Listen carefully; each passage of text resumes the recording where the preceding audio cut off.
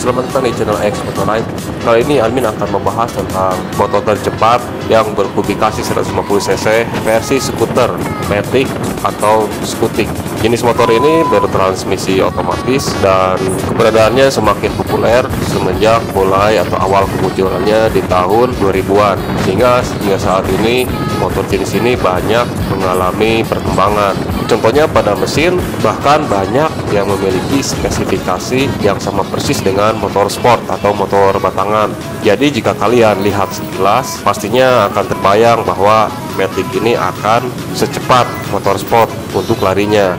Sebenarnya tidak demikian karena Matic ini mempunyai banyak permasalahan yang akan menghalangi performa mesinnya untuk bisa dikatakan sejajar dengan motor sport atau motor batangan. Permasalahan yang pertama tentunya pada sistem penggerak rodanya yang berupa belt, fan belt, atau CVT memiliki power loss atau tenaga yang hilang dari mesinnya mencapai hingga 20% lebih. Jika dibandingkan rantai itu lumayan selisihnya cukup jauh. Karena rantai sendiri memiliki power loss berkisar antara 5% hingga 10% bahkan ada yang kurang dari 5% Faktor yang kedua adalah pada ukuran diameter rodanya yang cenderung lebih kecil dari motor batangan. Hal ini mungkin untuk mengimbangi power loss yang cukup besar dari penggerak rodanya sehingga akselerasinya atau torsi bawahnya bisa menutupinya. Tapi tentunya hal ini berpengaruh kepada kemampuannya mencapai top speed atau kecepatan puncaknya karena ukuran roda yang lebih besar itu baik dalam pencapaian top speed tapi kurang untuk akselerasi. Dan sebaliknya roda yang berukuran kecil cenderung lebih baik dalam berakselerasi tapi kurang dalam mencapai kecepatan puncak atau top speednya. Lalu faktor yang ketiga umumnya Matic ini menggunakan mesin SOHC yang tidak diciptakan untuk RPM tinggi sehingga ini juga berpengaruh pada kemampuannya mencapai kecepatan puncaknya atau napasnya cenderung pendek. Kemudian faktor yang keempat adalah kurangnya kontrol dari transmisinya. Ya karena otomatis jadi kalian tidak bisa mengontrol perpindahan gigi. Misalnya kalian ingin meloncat dari gigi 2 langsung ke gigi 4 dan faktor yang kelima adalah masalah kontrol pengurangan kecepatan. Karena Matic ini hanya menggunakan rem depan dan belakang saja. Tentunya berbeda dengan motor manual karena pengurangan kecepatan bisa dibantu oleh engine brake. Karena pengereman ini fungsinya sangat vital pada kecepatan tinggi terutama pada keamanan. Mengenai faktor penilaian apa saja bisa kalian lihat di deskripsi. Di sana admin sudah menyertakan link-link dari video yang bisa kalian pelajari dan tentunya akan menambah wawasan kalian kalian tentang otomotif Honda 2 sebelum masuk peringkat admin sarankan kalian untuk subscribe channel ini karena untuk ke depannya admin akan membahas semua motor dari publikasi kecil hingga yang besar berdasarkan spesifikasi dan perhitungan.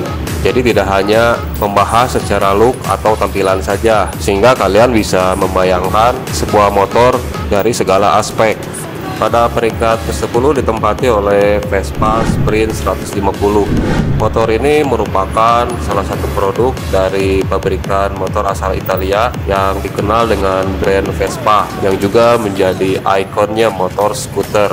Mengikuti perkembangan teknologi dan pasar serta aturan, Vespa yang tadinya mengusung mesin dua tak bertransformasi menjadi mesin empat tak yang saat ini atau kini mereka menyebutnya dengan sebutan e atau Italian Green Experience Teknologi. Vespa Sprint 150 ini dibekali mesin 154,8 cc e-gate 3 valve atau 3 katup sedangkan pada diameter gelangkah pistonnya adalah 58 x 58,6 mm meter square lalu pada rasio kompresinya adalah 10,5 banding 1 mesin Vespa Sprint ini mampu menghasilkan tenaga sebesar 11,7 horsepower di 7500 rpm dan torsi maksimalnya di 12 Nm pada 5000 rpm sedangkan pada bobotnya ini cukup berat mencapai 147 kg sehingga nilai PWR yang didapatkan adalah 22,23 kg per 1 horsepower. Pada peringkat ke-9 masih ditempati produk Vespa lainnya yaitu Vespa GTE Super Sport 150 Giga Salah satu andalan motor Vespa di kelas 150cc ini dibekali kubikasi mesin sebesar 154,8 cc iget 4 katup yang pada bor kali stroke pistonnya adalah 58 kali 58,7 mm meter square dan rasio kompresinya berada pada 10,5 banding 1. Mesin Vespa GTS ini mampu menghasilkan tenaga sebesar 14,5 horsepower di 8250 rpm dan torsi maksimalnya 13,5 Nm di 6750 rpm. Untuk bobotnya, Vespa GTE 150 ini hampir menyamai motor 250 cc 2 silinder yaitu 160 kg. Dengan bobot seberat itu maka nilai PWR yang didapat atau yang dihasilkan adalah 19,14 kg per 1 horsepower. Kemudian pada posisi ke-8 ditempati oleh Kimco Like 150i. Motor ini merupakan produk dari pabrikan asal Taiwan, Guangyang Motor Co Ltd atau Kimco yang dipersenjatai mesin sebesar 149 cc SOHC 4 katup. Pada diameter kelangka pistonnya memiliki perbandingan 59 kali 54,5 mm overbore. Lalu pada rasio kompresinya adalah 10,9 banding 1. Pada performa mesinnya, Kimco Like ini mampu menghasilkan tenaga sebesar 13,3 horsepower di 8500 rpm dan torsi maksimalnya 10,2 Nm di 6500 rpm. Pada bobot motor ini mencapai 129 kg sehingga nilai PWR yang didapatkan sebesar 18,02 kg per 1 horsepower. Pada peringkat 7 ditempati motor Kingco lainnya yaitu Kimco King Racing F1 150 ya sesuai namanya Kimco ini menyematkan racing pada motor ini. Berarti motor ini adalah yang paling diandalkan di kelas 150 cc. Motor ini mempunyai spek mesin besar 149 cc SHC 4 katup pada bor kali stroke pistonnya memiliki perbandingan 59 kali 54,5 mm overbore. Dan rasio kompresinya adalah 11 banding 1 mesin skutik ini mampu memutahkan tenaga sebesar 13,8 horsepower di 8500 rpm dan torsi maksimalnya berada pada 11,7 Nm di 6500 rpm dengan bobot yang cukup ringan hanya sebesar 115 kg saja maka nilai PWR yang dicapai adalah 15,09 kg per 1 horsepower. Pada peringkat 6 ditempati motor terlaris di kelas 150 cc adalah Yamaha NMAX 155 Ya Yamaha MX ini memang paling diunggulkan dari pabrikan Yamaha karena sejak awal kelahirannya di tahun 2015 hingga saat ini boleh dibilang sangat baik pada penjualannya.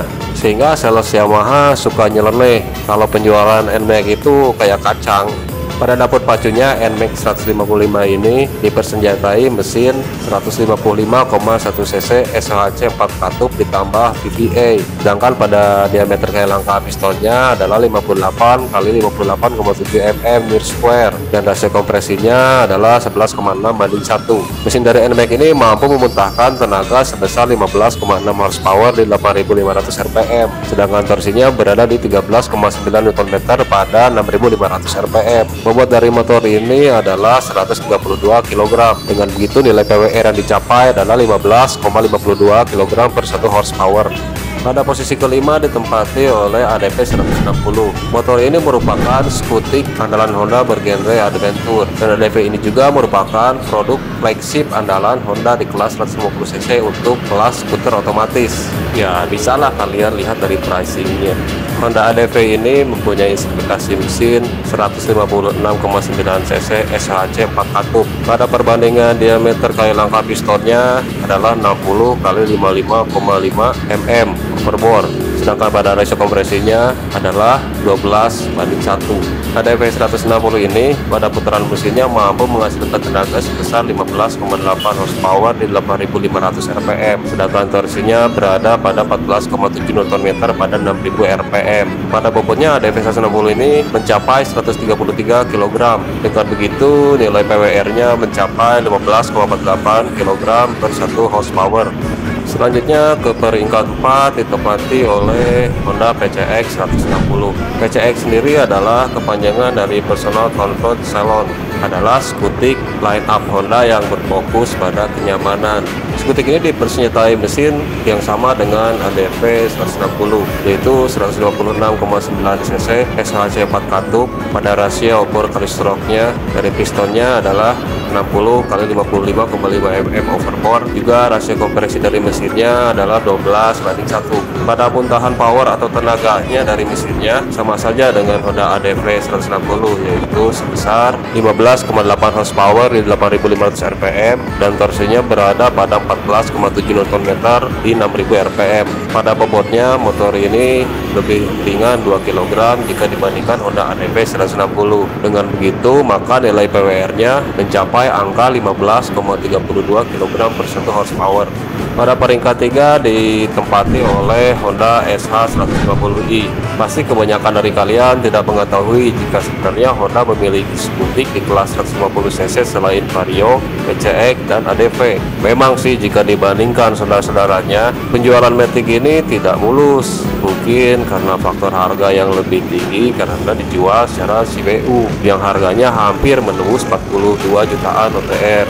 Sebenarnya Honda S150i ini satu angkatan dengan generasi sebelumnya dari PCX, ADV, dan Vario ketika masih mengusung mesin SLAC 2 katup 150cc dan saat itu tenaga dan torsi dari motor ini cukup superior jika dibandingkan ketiga saudaranya tadi bahkan meskipun ketiga saudaranya tadi yang 150cc sudah di-upgrade menjadi 160cc 4 katup secara power dari mesinnya skutik ini masih belum bisa dikalahkan Honda S1 150i ini bermesin 153cc SOHC 2 katup. Rasio bor kali stroke pistonnya adalah 58 kali 57,9 mm knit square. Termasuk knit square ya karena jika dikurangi itu selisihnya masih di bawah satu. Kemudian pada rasio kompresinya adalah 10,6 banding 1. Pada sektor mesinnya mampu menghasilkan tenaga sebesar 16,4 horsepower di 8250 rpm dan torsi sebesar 13,9 Nm di 6500 rpm.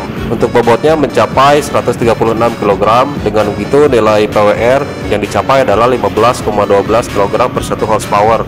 Sebenarnya generasi terbaru dari Skutik ini sudah dirilis di luar sana. Pada sektor mesinnya berubah menjadi 156,9 cc SHC 4 katup sama dengan mesin-mesin Skutik Honda lainnya saat ini di kelas 150 cc.